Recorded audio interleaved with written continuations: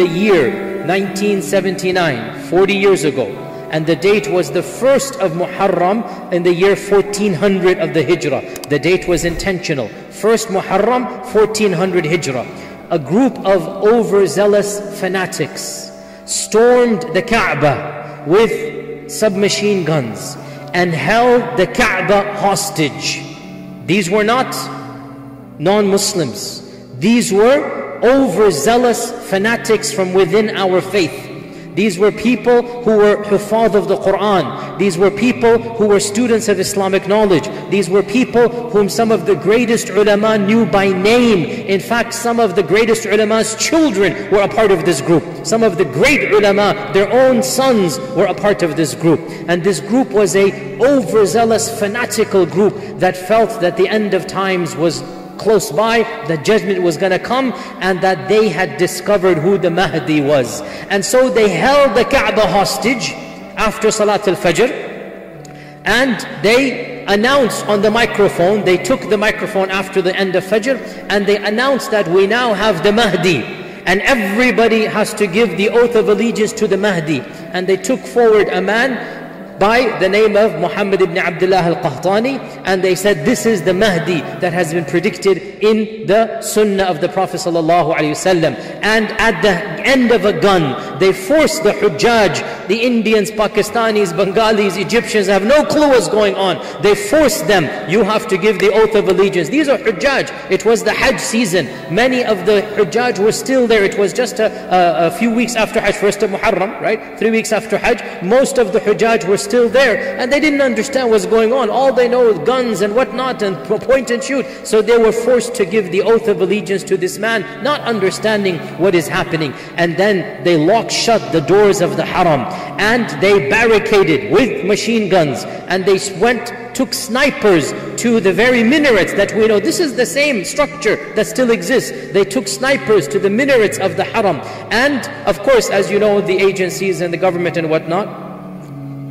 as you know, with, with, without trying to be too harsh, but they are not prepared to deal with these things. And frankly, they don't have emergency plans in place. Let's just be very nice about it. They have no clue what is going on. It took them a day even to react to what is going on. They have no clue what is happening. And they send in the first, you know, group of soldiers and the snipers shoot them dead. Blood was shed on that day, on the first of Muharram, the very end of the first of Muharram, blood was shed. And that's when the government went into panic mode. They had no clue what is going on, no understanding of what is happening. And they wanted to clamp down on all the media, which made matters worse because rumors began to spread. Who is holding the Kaaba hostage? Salah was stopped in the Kaaba for almost two weeks. Tawaf was stopped. People stopped doing tawaf. People were almost starving because they were held hostage. The Hujjaj over there. Firstly, women, children as well. Then after a few days, they let the women and children out. But then many of the men were forced and then eventually, bit by bit, they left the men go until only the core fanatics remained. Almost two weeks later,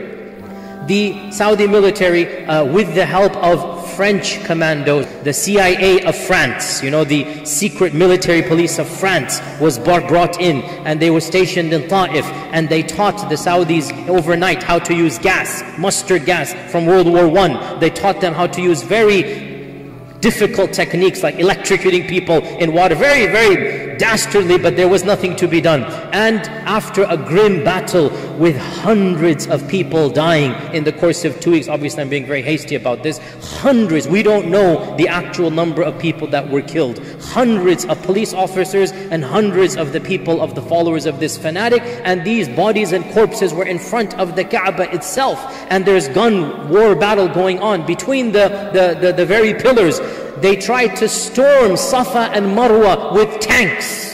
And so the, the, the, the, staircase leading up to Safa was destroyed because the tanks tried to attempt to go in. But the guy that they called the Mahdi rushed in and he threw a grenade into the tank. And the tank exploded and they took this as a sign that Allah was on their side, that they destroyed the tank. This made them even more confident that the haqq is with us and Allah is on our side. And they kept on fighting to the very end until finally, after a very bitter, bitter battle with uh, the help of, as we said, the French commandos and the techniques that they, that they devised, finally the last bastion of this group surrendered. Over 70 plus of them were caught alive and every one of them, except for four or five who were below the age of 15, they were executed uh, by, the, by chopping off of their heads around the kingdom of Saudi Arabia. And there were nationalities of all types, Saudis, Yemenis, Pakistanis. There was even one American amongst those fanatics who gave the oath of allegiance and they thought that Allah subhanahu wa ta'ala was on their side and they thought that they had the Mahdi. And as we will study right now, inshallah ta'ala, the ahadith tell us that the Mahdi shall be somebody who will seek refuge in the Kaaba and that the oath of allegiance will be given to him between the Rukn and the Maqam, between the Rukn Yamani and the Maqam Ibrahim. That very short spot that he will stand there and the oath will be given to him. So this group essentially wrote a Hollywood script based upon the ahadith. And they chose the actors based upon the script from the hadith. And they then enacted a scene as if it is a Hollywood movie coming from the ahadith and they became the actors and they said okay the hadith mentions he's gonna be called Muhammad that name is Muhammad. The hadith mentions he's gonna have a straight nose this Muhammad has a straight nose. Uh, I'm being oh, this is exactly what the hadith says. The hadith mentions that he will be given the bay'ah between the rukun and maqam. We're gonna make sure the bay'ah comes between rukun and maqam. And the hadith mentions that an army will be sent to fight them in the Kaaba they will seek refuge in the Kaaba. This is why they went to the Kaaba, by the way. They will seek refuge in the Kaaba. And Allah will miraculously cause the earth to open up and swallow the whole army. This is what they were banking on. What was the end plan?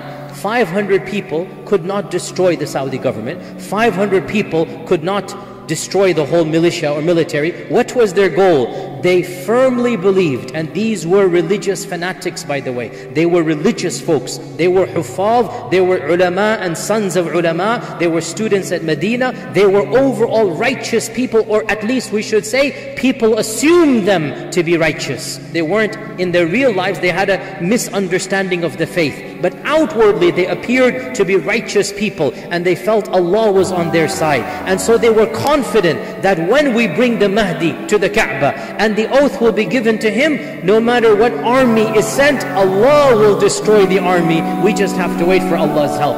But no help came.